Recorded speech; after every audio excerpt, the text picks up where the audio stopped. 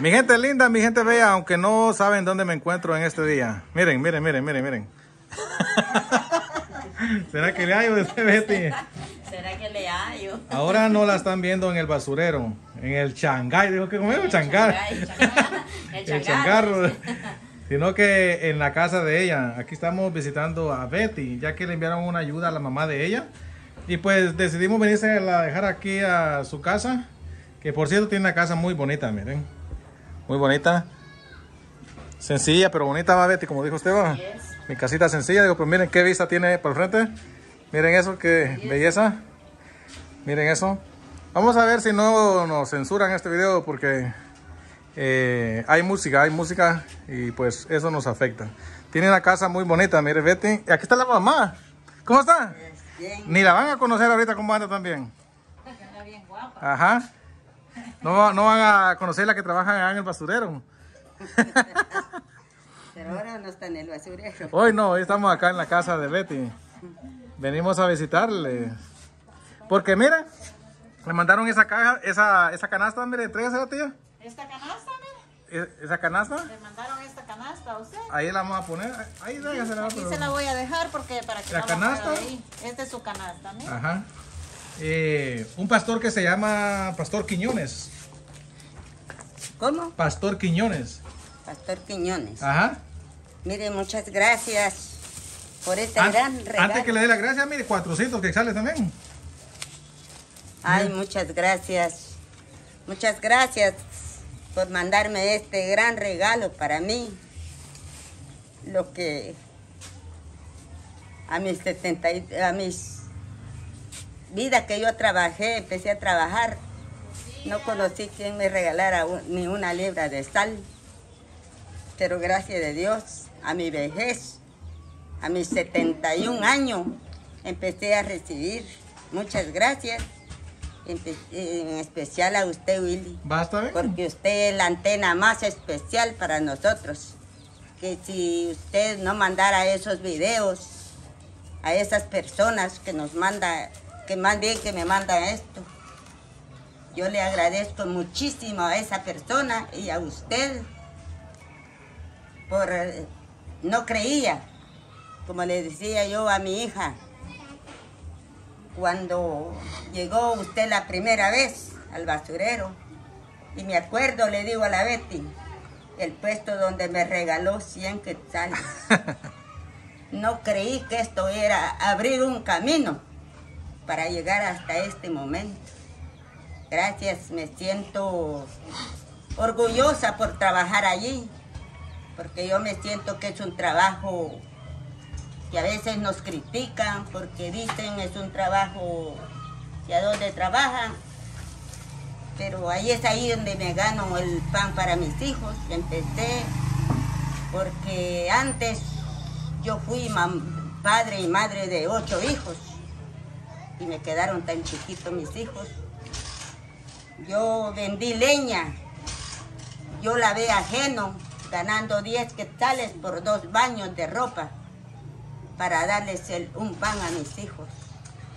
No les pude dar estudio, no les pude dar nada porque fui una madre pobre, triste en mi vida, pero solo les enseñé a tres hijos tres hijos trabajan conmigo allá, los demás tienen, no tienen trabajo fijo, porque había mi hijo me decía, mamá a su edad ya no podía ir a trabajar, pero yo no sería capaz, que apenas alcanza para el sustento para sus hijos, pudiendo yo todavía trabajar.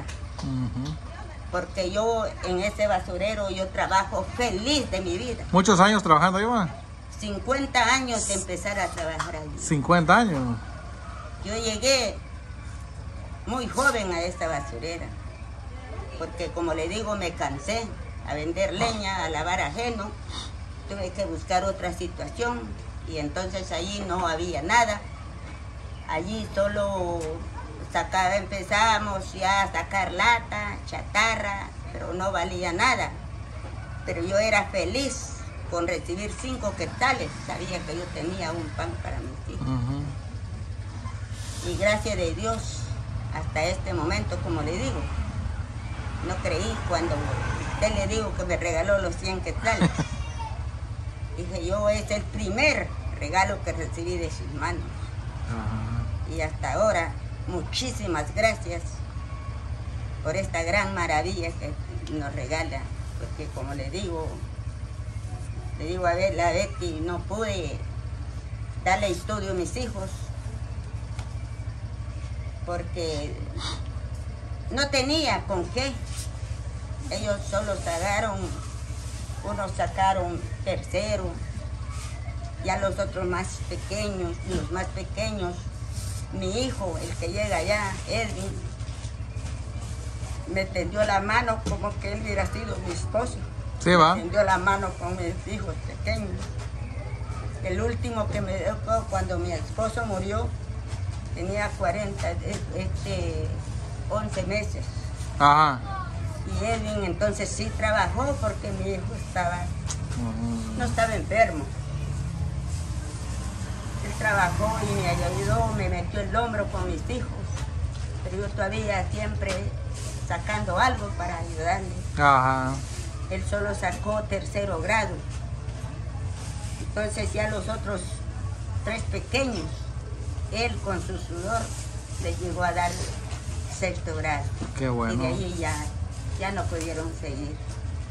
Porque él también se hizo de su familia y ya no le podíamos poner otro cargo. Sí. Hasta esta situación, por eso le digo, a mí mi hijo me duele, porque nosotros hemos visto la situación de su enfermedad gravísimo. Que aquí se ha venido a devanar, mamá, yo no aguanto, yo ya me voy a morir. ¿Y él trabaja en basurero? Gracias de Dios, Es Edwin el que es el que le dio pisos aquel día. que tiene los dos niños. tiene, él tiene la, la enfermedad en la cabeza. El que se quita la gorra cuando uno... Ese. Él es hijo de... Sí. ¿Qué hermano suyo? Ella, ¿no? Ala, él, le, él le cae tan bien a la gente porque él es bien humilde. bien- Él es hermano suyo, ¿no? Mire qué cosa nosotros ni sabíamos. La gente eh, ahí escribieron cómo me gusta la actitud de ese señor, de que él se quita la gorra para dar gracias. dice. Él es el, el hermano más educado que tenemos, pues no, él no habla malas palabras. Ajá, no es bien educado. No se expresa mal, entonces él a veces nos regaña cuando nosotros decimos una mala palabra y dice no, no, no eso no se dice. y- y- pero como dice mi mamá, la verdad es que él se quedó de, de 17 años cuando mi papá murió y ya él fue como padre para nosotros. Mm, Y la verdad como que de pequeño fue que le dio como depresión. ajá. Ya después del tiempo a él le fue avanzando y ahora ya a sus 45 años le avanzó más y ahí es donde él él podía desempeñar otros tra- dos trabajos más de voltear en un, en un beneficio en, la, en, en Esquipulas y de hacer este empavimentado en las calles. Ajá. Ganaba por trato, ganaba buen dinero mi hermano. Pero la enfermedad lo como que lo deprimió Ajá. ya no puede trabajar, él dice de que ya no, ya no puede. Entonces fue cuando él llegó también al basurero. Como le dijimos nosotros aquel día, nosotros la verdad que hemos sido criados por mi mamá en el basurero.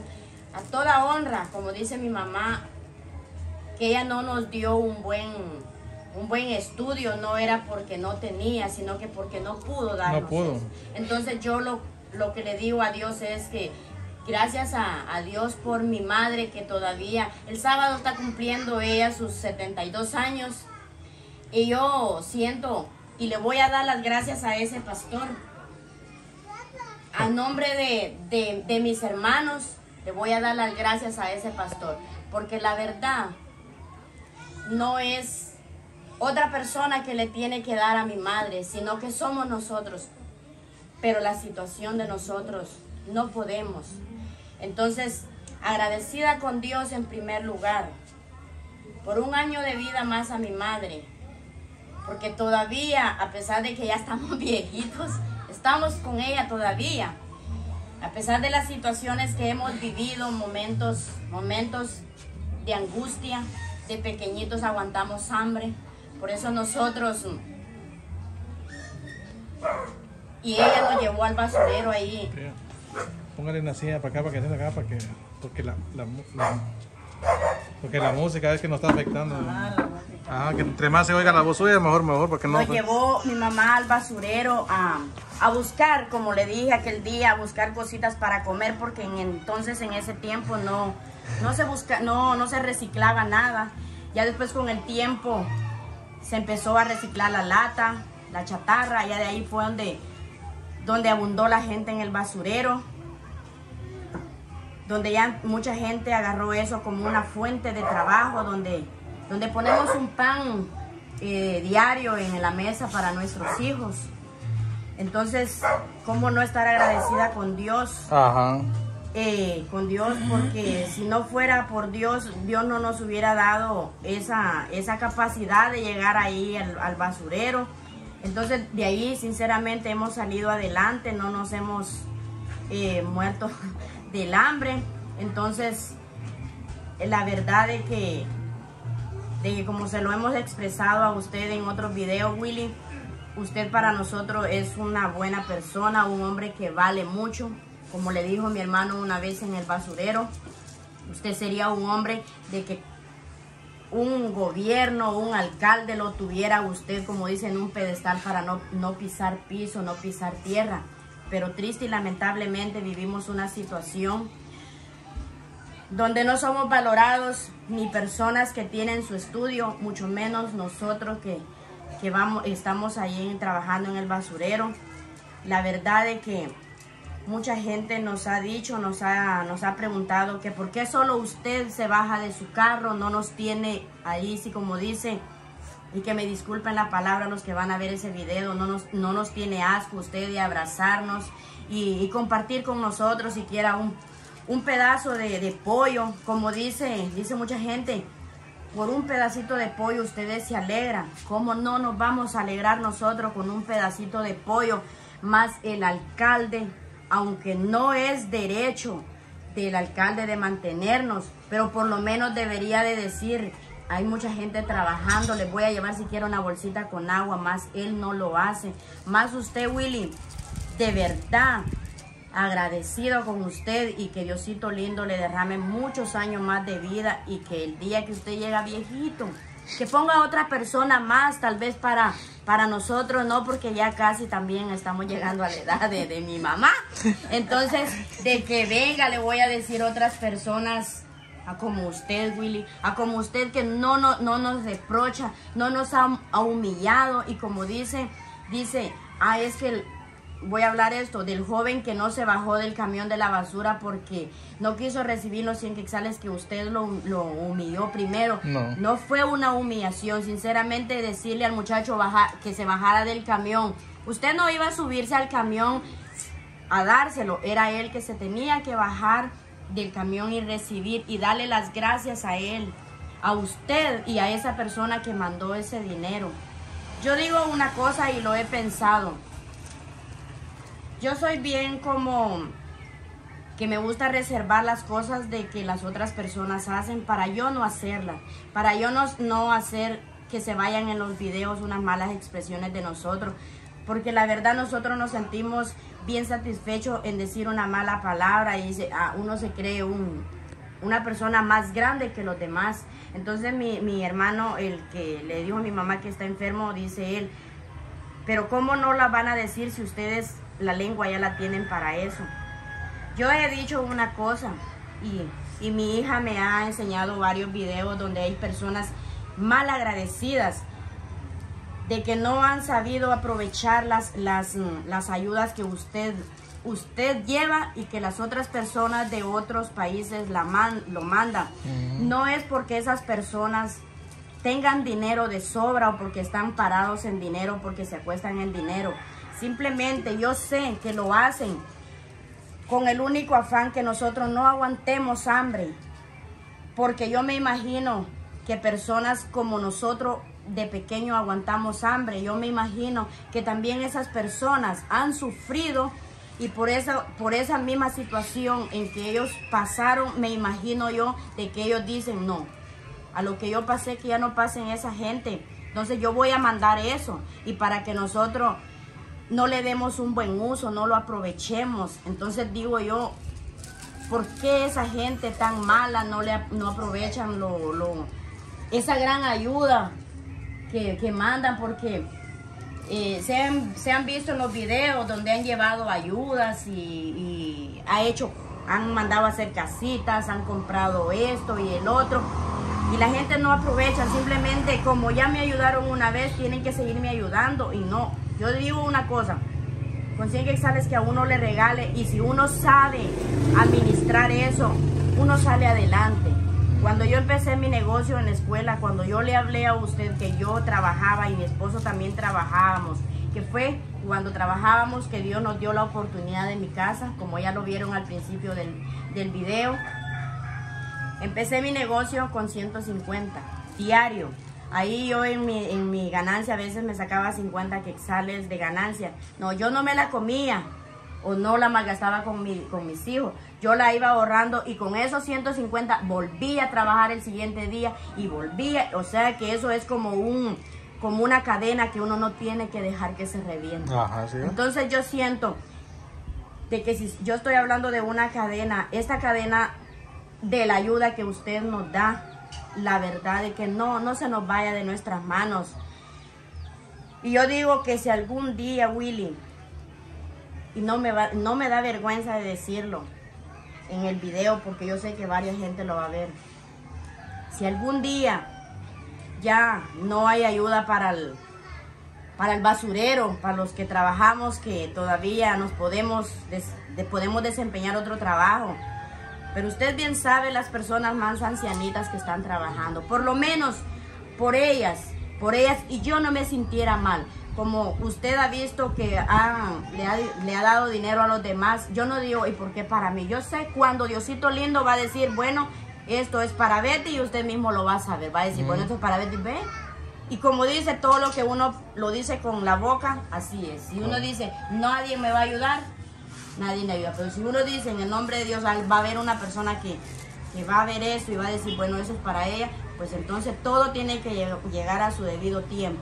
Entonces digo yo, lo vuelvo a repetir, si algún día personas dicen, no, ya no, ya no ayudamos a ese basurero por, por tantos comentarios que se escuchan, pero digo yo, hay, hay como cuatro personas ya ancianitas, que es mi madre en primer lugar.